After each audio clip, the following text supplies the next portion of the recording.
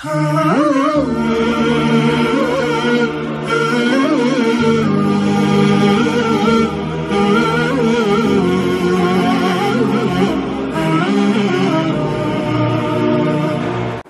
الله الرحمن الرحيم الحمد لله رب العالمين وبه نستعين ولا حول ولا قوة إلا بالله العلي العظيم رب اشرح لي صدري ويسر لي أمري واحلل عقدة من لساني يفقهوا قولي السلام عليكم ورحمة الله وبركاته ยินดีต้อนรับพี่น้องทุกท่านนะครับ อีกครั้งหนึ่งเข้าสู่รายการเรื่องเล่าสิขาวนะครับไว้ที่หนึ่งสตอรี่ของเราในวันนี้นะครับนำเสนอพี่น้องต่อในเรื่องของมาลายกะนะครับ เราได้ฝากพี่น้องไปนะครับ เกี่ยวกับมัสละการคีราฟกันของบรรดาอุลามะนะครับ เกี่ยวกับเรื่องของความประเสริฐของมาลายกะนะครับ ผมได้เรียนพี่น้องแล้วนะครับ ในเรื่องของความประเสริฐของมาลายกะเนี่ย ไม่ได้เป็นเรื่องที่มีความสำคัญถึงขนาดที่ว่าจะต้องรู้ให้ได้ว่าใครประเสริฐกันนะครับ ระหว่างมาลายกะกับมนุษย์เนี่ยนะฮะเราได้พูดถึงทัศนะนะครับของบรรดานักประวัติศาสตร์หรือว่าบรรดาอุลามะของมุสลิมเรานะครับ ที่ให้ความประเสริฐของมาลายกะที่แตกต่างกันนะครับกับมนุษย์เนี่ยบางคนก็บอกว่ามนุษย์นั้นประเสริฐกว่ามาลายกะนะครับ บางท่านก็บอกว่ามาลายกะนั้นประเสริฐกว่ามนุษย์นะครับ หลักๆ แล้วหลักฐานของคนที่บอกว่ามาลายกะประเสริฐกว่ามนุษย์นะครับ อาจจะมองในแง่ของเรื่องของความสะอาดความบริสุทธิ์ของมาลายกะและก็การทำอามัดอิบาดะตลอด 24 ชั่วโมงนะครับก็อาจจะมองในส่วนนี้แล้วก็คิดว่ามาลายกะเนี่ยน่าจะประเสริฐกว่ามนุษย์นะครับ แต่ว่าตรงนี้นะฮะเขาก็อ้างหลักฐานเหมือนกันนะครับ คนที่บอกว่ามาลายกะประเสริฐกว่า ก็อ้างหลักฐานจากคำพูดของมุบลิสที่พูดออกมานะครับ ที่บอกว่าพูดกับท่านนบีอาดัมนะครับ ตอนที่ ท่านนบีอาดัมอยู่ในสวรรค์เนี่ยนะครับในช่วงแรกเนะบอกว่าให้กินผลไม้นี่ซะนะครับอัลลอฮ์ห้ามพวกท่านจากการกินผลไม้เนี่ยไม่ได้เพราะอะไรเลย เพราะถ้าหากว่าท่านกินไปแล้วท่านก็จะกลายเป็นมาลายกากันไปหมดนะครับ แล้วก็หรือว่าจะอยู่ในสวรรค์ตลอดกาลนะครับ ตรงนี้เนี่ยแสดงว่ามาลายกานั้นประเสริฐกว่ามนุษย์นะฮะ อิบลิสก็เลยบอกว่าถ้าได้กินก็กลายเป็นมาลายกาแล้วนะครับ แต่ว่าหลักฐานตรงนี้ถ้ามองในแง่ของการพิจารณานะครับ มันค่อนข้างที่จะอ่อนนิดหนึ่งนะครับ เนื่องจากว่ามันไม่ได้หมายความว่ามาลายกานั้นจะประเสริฐกว่ามนุษย์เสมอไปในหลักฐานจากตรงนี้เนี่ยนะครับ ก็เป็นไปได้เพียงแค่ว่ามาลายกานั้นไม่ต้อง เขาเรียกว่าไม่ทำสามารถทำอิบาดะได้ตลอด 24 ชั่วโมง แล้วก็อยู่ในสวรรค์อยู่ตลอดกาลอันนั้นเป็นประเด็นที่ว่าท่านนาบีอาดัมสนใจต่างหากนะครับ เนื่องจากความสุขที่ท่านนบีอาดัมได้รับเนี่ยนะฮะทำให้ท่านนบีอาดัมรู้สึกว่าไม่อยากจะจากสวรรค์ไป อยากจะอยู่ในสวรรค์ไปตลอดกาลพออิบลิสมาล่อลวงนะครับ มาหลอกบอกว่าเนี่ยท่านอยู่ตรงเนี้ยสบายเลยนะ แต่ว่าท่านจะท่านจะอยากอยู่ตลอดกาลใช่ไหมถ้าอยากอยู่ตลอดก่อนตลอดกาลก็ให้กิน ผลไม้ตรงนี้เสียนะครับเพราะฉะนั้นอันนี้ก็เป็นหลักฐานของฝ่ายที่บอกว่ามาลายกะประเสริฐกว่านะครับ ส่วนหลักฐานของคนที่บอกว่ามาลายกะนั้นมนุษย์นั้นประเสริฐกว่าเนี่ยก็ยกหลักฐานได้นะครับ หลายหลักฐานด้วยกัน ไม่ว่าจะเป็นหลักฐานของท่านอับดุลลอฮ์มุสลามนะครับที่ได้เรียนพี่น้องแล้วที่ท่านบอกว่าไม่มีมัคลุกไหน ที่จะประเสริฐไปยิ่งกว่า หรือว่ามีเกียรติไปยิ่งกว่าท่านนบีมุฮัมมัดสุลลัลลอฮุอะลัยฮิวะสัลลัมนะครับแล้วก็มีคนถามว่าแล้วยิบรีนกับมีกาอีนแหละนะครับท่านก็ได้อธิบายไปว่าแม้กระทั่งยิบรีนแล้วก็ท่านมีกาอีนก็เช่นเดียวกันนะครับไม่ได้ประเสริฐกว่าท่านนบีมุฮัมมัดสุลลัลลอฮุอะลัยฮิวะสัลลัมแต่อย่างใดนะครับหลักฐานที่สองนะครับก็คือมาลายกะนะครับหรือว่าที่ที่เราได้กล่าวไว้ในอายะห์กุรอานว่าเราได้สร้างมนุษย์มาด้วยกับพระหัตถ์ของพระองค์เองนะครับ สิ่งต่างๆเนี่ย ผมเคยเรียนพี่น้องแล้วนะครับว่าสิ่งที่อัลลอฮ์ทรงสร้างมากับพระหัตถ์ของพระองค์เองเนี่ยมีไม่กี่อย่างนะครับ แต่ว่าที่เหลือเนี่ยอัลลอฮ์ก็จะบอกว่ากุนนะครับจงเป็นเสร็จแล้วมันก็จะเป็นนะครับ เพราะฉะนั้นอำนาจในการสร้างของลอสุบฮานุตาลาเนี่ยทุกสิ่งทุกอย่างในง่ายได้หมดนะครับไม่มีง่ายกว่า หรือว่ายากกว่าอย่างนี้ไม่มีนะครับสำหรับลอสำหรับอัลลอฮ์ซุบฮานุตาลาเนี่ยคำว่าง่ายกว่าไม่มีทุกอย่างง่ายหมดเลย สำหรับอัลลอฮ์ซุบฮานุตาลานะครับจะสร้างชั้นฟ้าสร้างแผ่นดิน หรือสร้างมนุษย์สร้างแมลงวันสำหรับอัลลอฮ์ซุบฮานุตาลาถือว่าเหมือนกันนะครับ เพราะว่าอัลลอฮ์ให้เป็นก็เป็นไปตามที่อัลลอฮ์นั้นทรงบัญชาไปนะครับ เพราะฉะนั้นก็หลักฐานอื่นนะครับที่ที่ได้อ้างก็คือมนุษย์นั้นมีการเรียนรู้ มนุษย์มีการเรียนรู้แล้วก็เพิ่มเติมความรู้ขึ้นเรื่อยๆมีการวิเคราะห์ มีการวิจัย มีการศึกษา มีการค้นคว้า อันนี้เป็นลักษณะเฉพาะของมนุษย์นะครับ ซึ่งบรรดามาลายกะเนี่ยจะไม่มีนะครับ แล้วก็ท้ายที่สุดนะครับอัลลอฮ์ก็ได้โอ้อวดเหมือนกันนะครับ กับบรรดามาลายกะอวดมาลายกะนะครับ ให้ดูมนุษย์นะครับที่ตอนแรกเนี่ยมาลายกะก็คิดว่าสร้างมาแล้วจะสร้างความเสียหายนะอัลลอฮ์ก็ให้ดูดูในสมัยท่านนบีเนี่ยอัลลอฮ์ก็เปิดชั้นฟ้าออกนะครับในฮะดีษที่ท่านนบี ได้เล่ากับบรรดาซอฮาบะนะครับท่านนบีได้บอกกับซอฮาบะบอกว่าอับชิรูฮาดารับบุคุมกอดฟัตฮาบาบันมินอบูบิสมะนบีบอกกับบรรดาซอฮาบะว่าเนี่ยข่าวดีข่าวดีนะครับอัลลอฮ์ตาลาได้เปิดชั้นฟ้าขึ้นมาแล้วนะครับเปิดฟันช้าชั้นชั้นฟ้าขึ้นมาแล้ว แล้วเป็นไงยูบาฮีบิกุมุนมาไลกะอัลลอฮ์นะเอาพวกท่านน่ะไปอวดกับมาไลกะโชว์ต่อมาไลกะให้ดูนะครับมาดูเสร็จแล้วเราก็บอกอุนดรุยลาอิบาดี ให้บรรดามาลายกาทั้งหลายนะบอกว่าจงมองไปยังบ่าวของฉันนะครับ เป็นยังไงครับ ก็คอดอลฟาริลบะวะฮุมยันตะซิรูนะอุครอเขาได้ทำอิบาดาเสร็จแล้วซูโบเรียบร้อยแล้วแล้วเขาก็รอที่จะทำอิบาดาต่ออื่นต่อตอไปอีก นี่คือลักษณะของบ่าวที่ดี ที่อัลลอฮ์นั้นทรงอวดกับบรรดามาลายกาให้ดูครับว่านี่ไงดูสินี่คือบ่าวฉันนะครับทำอะไรในวันในการละหมาดแล้วก็รอทำอิบาดาต่อ ให้มาลายกาทั้งชั้นฟ้าดูนะครับ แสดงว่าเป็นสิ่งที่เรานะฮะโดยธรรมชาติมนุษย์เราเวลาเราลองคิดถึงธรรมชาติมนุษย์เราเนี่ยเวลาเราจะทำอะไรใช่ไหมฮะเวลาเราจะให้ใครดูของดีๆเนี่ยมันจะต้องเป็นของที่แบบว่าเห็นแล้วแบบต้องรู้สึกทึ่งใช่ไหมฮะเราถึงอยากจะไปให้เขาดู อาจจะไปโชว์ให้เขาดูเนี่ยต้องเป็นของที่ดีเป็นของที่พิเศษนะครับ เราถึงจะไปให้เขาดู ถ้าเป็นของธรรมดาของที่หาที่ไหนก็ได้ หรือว่าเป็นของที่ว่าคนที่เราจะให้ดูเขาก็ เห็นกันอยู่เป็นประจำแล้วนะเราจะไม่อวดหรอกนะครับ เพราะมันจะกลายเป็นเหมือนกับสุภาษิตหลาย ๆ สุภาษิตนะฮะอย่างเอามะมะพร้าวห้าวไปขายสวนนะครับ มีแต่คนที่เก่งเรื่องมะพร้าวรู้เรื่องมะพร้าวหรือว่าไปสอนจระเข้ว่ายน้ำอะไรก็แล้วแต่ที่สำนวนของไทยนั้นฮะเพราะฉะนั้นในสำนวนต่างๆเนี่ยมันก็จะบอกถึงบางสิ่งบางอย่างที่เราไปพูดไปคุยนะครับหรือว่าไปสอนหรือว่าไปพบปะ หรือว่าไปโชว์ไปอวดนะครับ กับคนที่เขามีดีกว่าเขา มีอะไรที่เก่งกว่าเนี่ยมันก็ไม่ถือว่าเป็นการอวดหรือว่าเป็นสิ่งที่อยากจะโชว์ เพราะฉะนั้นเช่นเดียวกันนะครับ การที่อัลลอฮ์นั้นทรงโชว์บรรดาซอฮาบะต่อมาลายกาเนี่ยจึงเป็นการบอกว่านั่นคือสิ่งที่น่ายกย่องและก็น่าชมเชยแล้วก็ในเรื่องของวันอาราฟะพี่น้องคงจะจำกันได้นะครับ ในทุ่งอาราฟะเนี่ยที่บรรดามนุษย์เรามุสลิมเราเนี่ยไปรวมกันที่ทุ่งอาราฟะวันอาราฟะเนี่ยนะฮะไปรวมกันที่ทุ่งอาราฟะทั้งโลก วันนั้นเกิดอะไรขึ้นครับพี่น้องครับ เป็นวันที่อัลลอฮ์ตาลาน่ะจะเรียกจะบอกมาลายกาชั้นฟ้าเนี่ยนะครับ ให้มาดูบรรดาคน มุมิน มุสลิม ที่ไปรวมกันที่ทุ่งอาราฟาเต็มเลย ในวันนั้นเนี่ยเป็นวันที่ประเสริฐที่สุดครับอาราฟาเนี่ยเป็นวันที่ประเสริฐที่สุด การถือสินอดอัลลอฮ์อภัยให้บาปสองปี และนอกจากนั้นนะครับ ในวันนั้นอัลลอฮ์ก็จะเรียกมาลายกาให้มาดูบรรดาคนที่อยู่ที่ทุ่งอาราฟาบรรดาฮุจญานั่นแหละครับพี่น้องครับ ดูว่าคนเหล่านี้เข้ามากันในสภาพที่คลุกฝุ่นนะครับ เสื้อผ้าเก่าเก่า เต็มฝุ่นมีฝุ่นเต็ม ผมเผ้าลุงรังนะครับ มีฝุ่นเต็มตัวเต็มหน้า เต็มผมไปหมดมาทำอะไรกันเข้ามาเพื่ออะไรครับพี่น้องครับ มาเพื่อแสวงหาความพอพระทัยจากอัลลอฮฺตาลา เพราะฉะนั้นวันอาราฟาอัลลอฮ์ก็จะมา อวดนะครับบรรดามาลายกาให้ดูถึงบ่าวของอัลลอฮ์ในทุก ๆ ปีเลยว่าเนี่ยดูสิเข้ามารวมกันเพื่อหวังทำอามันอิบาดาต่อข้าต่ออัลลอฮ์ซุบฮานุตะลาในวันนั้นอัลลอฮ์ก็จะอภัยโทษให้นะครับ ใครที่ขออภัยโทษดูอาดูอาที่สุดก็คือที่ดีที่สุด คือดูอาที่ขอในวันอาราฟะนั่นเองนะครับพี่น้องก็คงจะทราบกันดีในเรื่องพวกนี้ เพราะฉะนั้น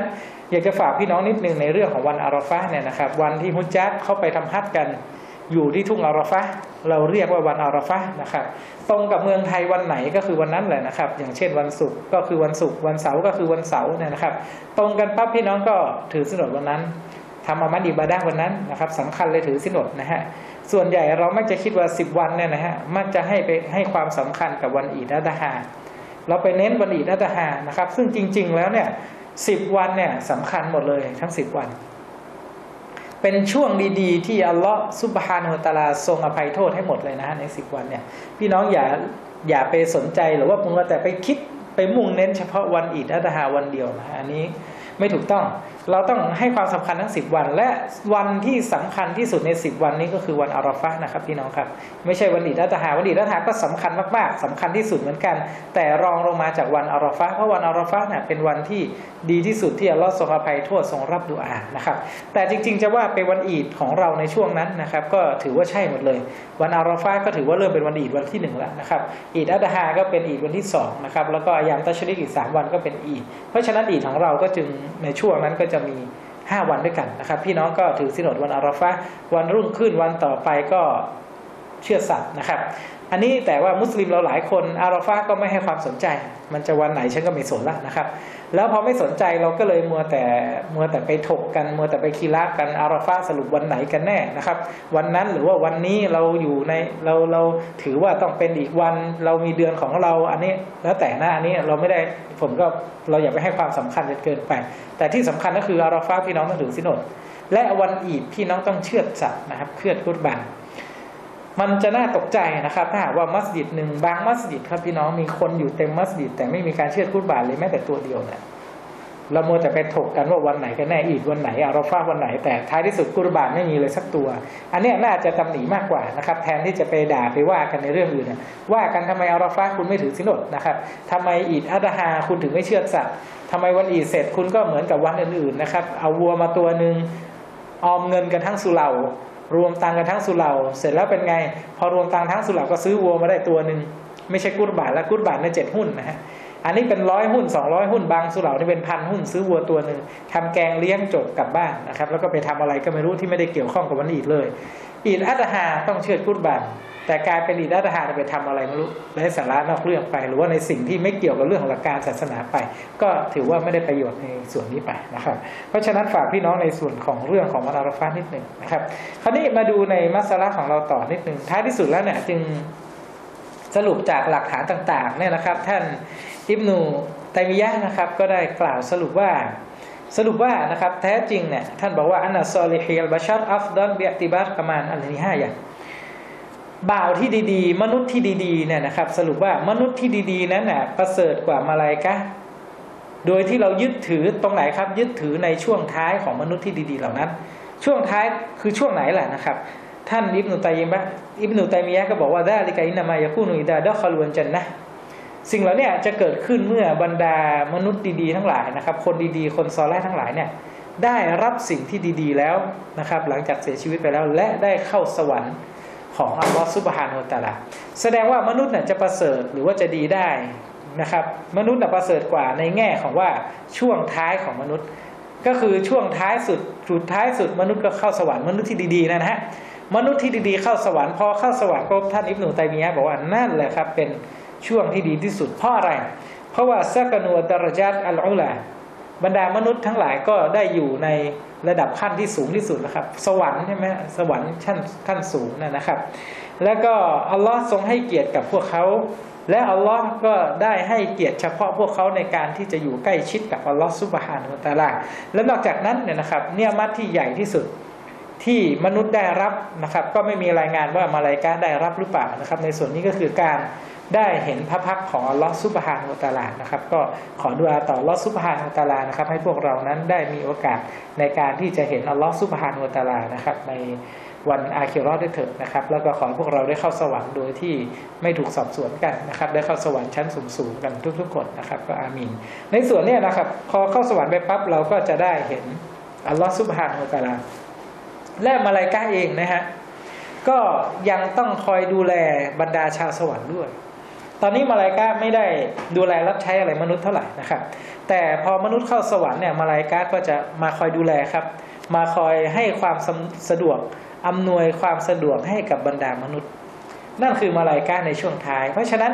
มนุษย์เราเข้าสวรรค์อยู่ในตำแหน่งที่สูง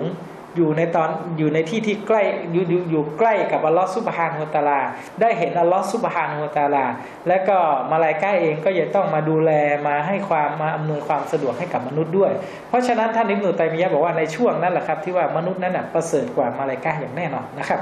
ส่วนมาลายกาก็ประเสริฐกว่ามนุษย์เหมือนกันนะครับเบียติบาอัลบิดายะมาลายกาประเสริฐกว่ามนุษย์เนี่ยในแง่ของการเริ่มแรก ช่วงแรกเท่านั้นที่มาลายกานั้นประเสริฐกว่ามนุษย์ เป็นอย่างไรครับ เพราะว่ามาลายกาเนี่ยในตอนเนี่ย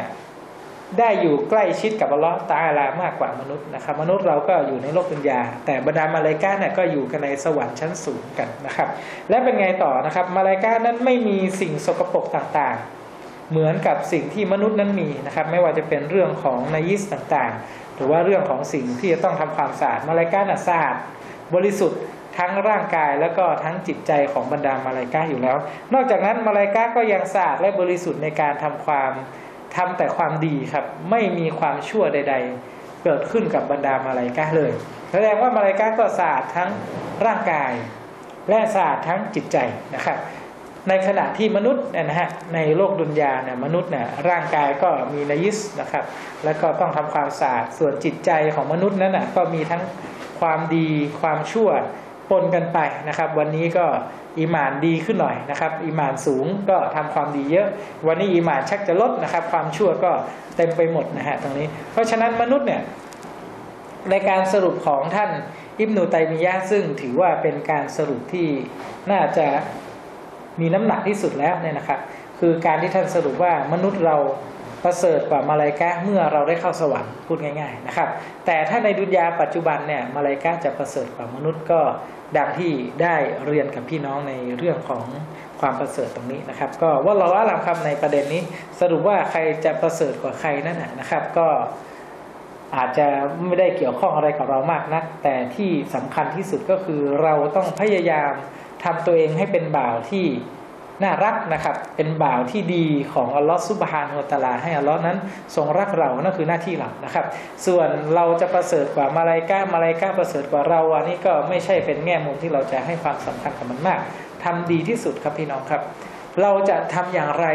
ให้เรารอดพ้นจากการลงโทษในนรกยานำไม่ให้ไปไม่ให้ตกนรกอะทำยังไงนะครับทำอย่างไรที่เราจะรอดพ้นในกูโบส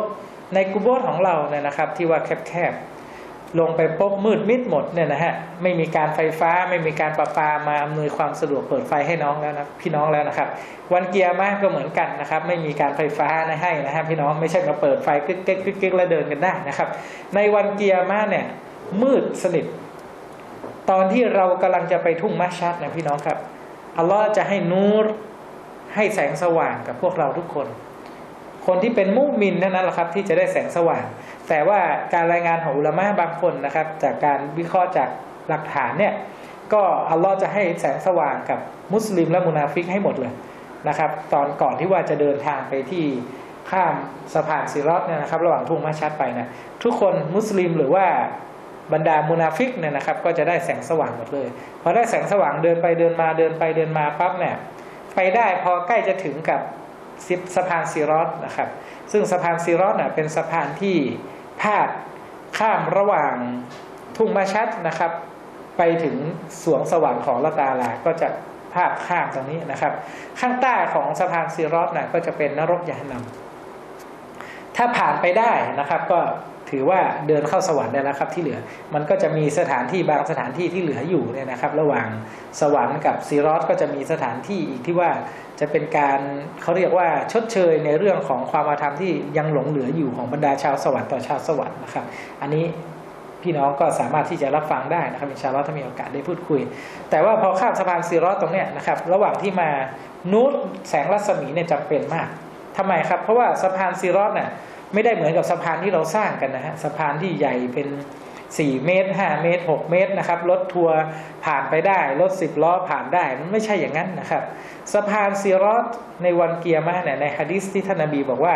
เล็กยิ่งกว่าเส้นผม เล็กมากนะครับ คมยิ่งกว่ามีดซะอีกนะฮะแล้วก็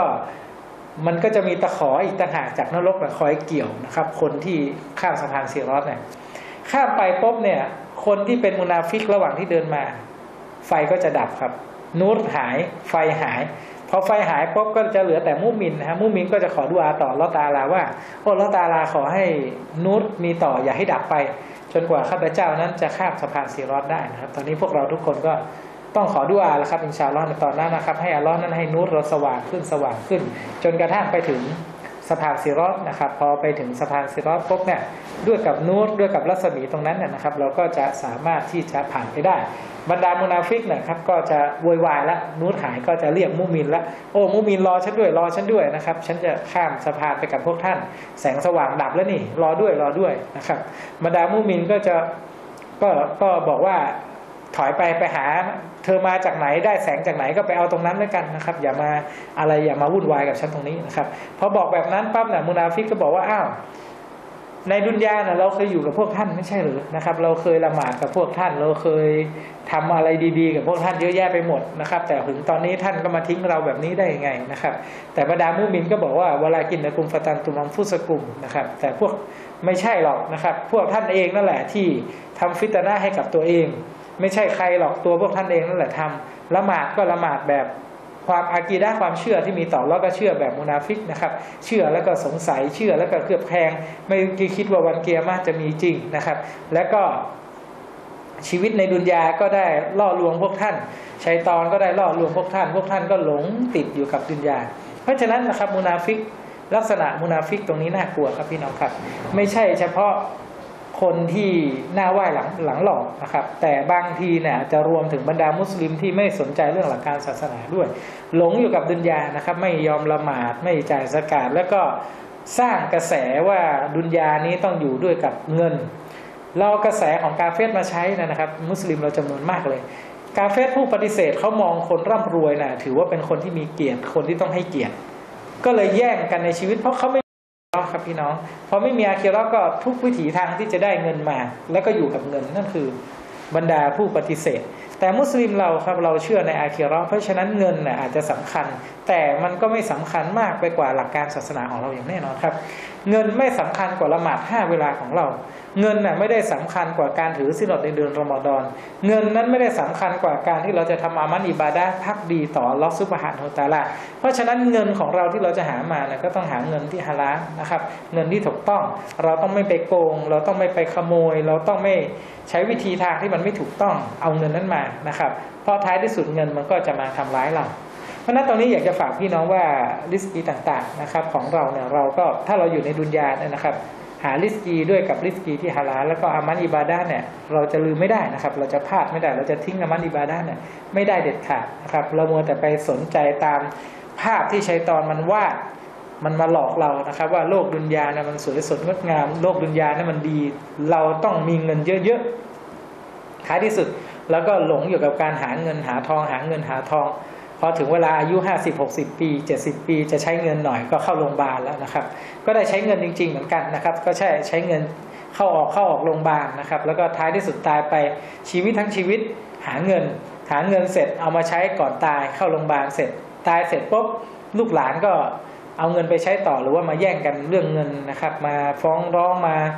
ฟิตนากันอีกนะครับ เพราะฉะนั้นแล้วเนี่ยมุมินเราเนี่ยเรื่องหาเงินเรื่องริสกีเนี่ยเป็นสิ่งที่สำคัญครับพี่น้องถูกต้องไม่ผิด เราหาแต่หาอยู่ในกรอบของอามันอิบาดะ หาอยู่ในกรอบของเงินที่ฮาลาลนะครับ แล้วหาเงินได้มาปั๊บเนี่ยเราก็ใช้จ่ายช่วยเหลือในเรื่องของหลักการศาสนาเราถึงจะประสบความสำเร็จนะครับในชีวิตของเราทั้งในดุนยาและก็ทั้งในอาเกรอนะครับ ส่วนเรื่องของมาลายกานะครับ ก็คงจะต้องฝากพี่น้องไว้เพียงแค่นี้นะครับ แล้วก็มันอาจจะมีประเด็นอื่นๆนะฮะพี่น้องก็สามารถที่จะหาศึกษาอ่านจากหนังสือตำรับตำราได้ ซึ่งอาจจะพอจะมีบ้างนะครับ หรือว่าอาจจะ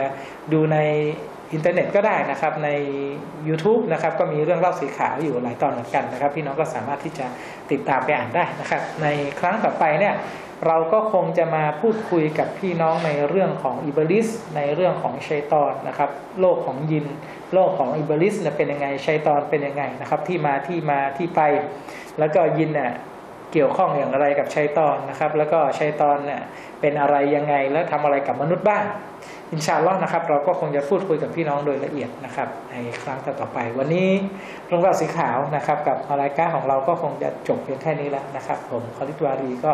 ฝากพี่น้องไว้เพียงแค่นี้นะครับนี่ก็สลามอะลัยกุมวะราะห์มะตุลลอฮิวะบะเราะกาตุฮ์